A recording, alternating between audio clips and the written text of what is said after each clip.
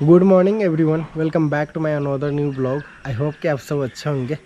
So friends अभी सुबह के बज रहे हैं पाँच और मैं आज इतना सुबह में उठ चुका हूँ क्योंकि हमको जाना है कहीं बाहर। तो कहाँ जा रहा है वो आपको वीडियो में पता चल जाएगा। तो अभी देख सकते हो मौसम।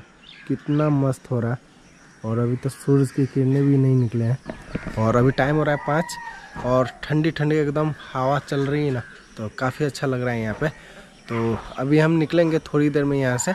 तो जा रहे हैं पहले फ्रेश वगैरह होते हैं, और फिर यहाँ से निकलना है हमको। तो और पहले यहाँ से जाएँगे, जाए सीतामढ़ी। और सीतामढ़ी में आठ बजे ट्रेन है मेरा। तो जल्दी जल्दी फ्रेश होते हैं, और फिर निकलना भी है। कहीं लेट अगर हुआ तो फिर ट्रेन भी छूट जाएगा।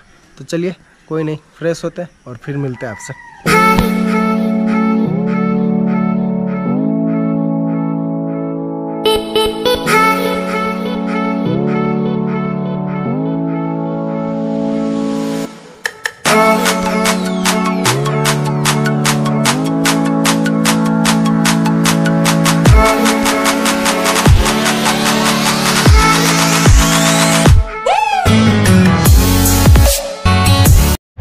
सो so, अभी हम आ चुके हैं सीतामढ़ी में और ये रहा रेलवे स्टेशन तो लेते हैं यहाँ से टिकट पहले।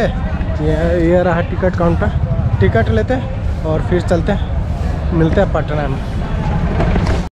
तो अभी हम आ चुके हैं रेलवे स्टेशन और ये रहा सीतामढ़ी का रेलवे स्टेशन तो टिकट वगैरह ले लिए हैं। तो अभी जा रहे हैं बैठने के लिए ट्रेन में। बैठते हैं ट्रेन में फिर मिलते हैं। धूप भी देख सकते हो कितना ज़्यादा है। एक पर खड़ी है। यात्रियों की ध्यान दें नैनीताल जाने वाली सवारी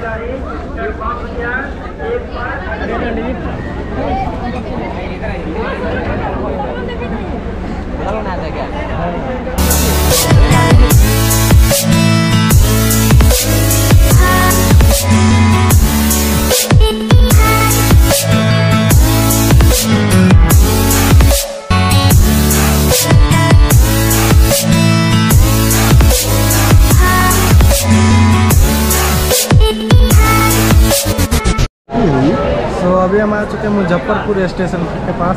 और ये रहा मुजफ्फरपुर स्टेशन। देख सकते हो। और कितना ज़्यादा भीड़ है। हाँ? कैमरा?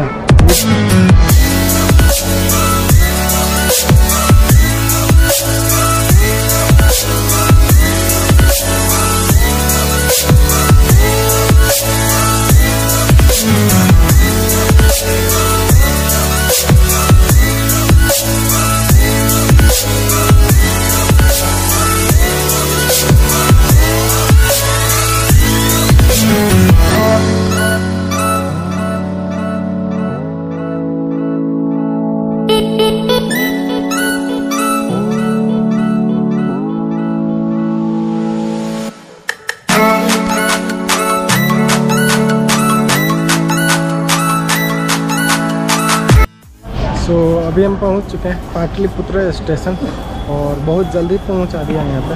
और व्यू देख सकते हो। काफ़ी मस्त है। तो निकलते हैं पहले नीचे और कोई ऑटो लेते हैं और फिर निकलना है यहाँ से बोरिंग रोड तो मिलते हैं रूम पे जाकर। सो so, अभी हम हैं पाटलिपुत्र स्टेशन के पास और यहाँ से लेते हैं ऑटो और फिर निकलते हैं बोरिंग रोड और काफ़ी गर्मी है यहाँ पे। तो मिलते हैं जाकर रूम में ही। सो so, अभी हम आ चुके हैं पटना और यहाँ पे आया हुआ था विशाल लाने के लिए और अभिषेक तो जा रहे हैं रूम पे और रूम पर जाकर मिलते हैं आपसे।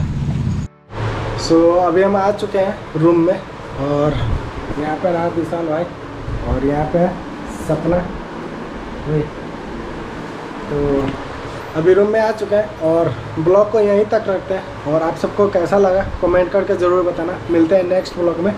तब तक के लिए 拜。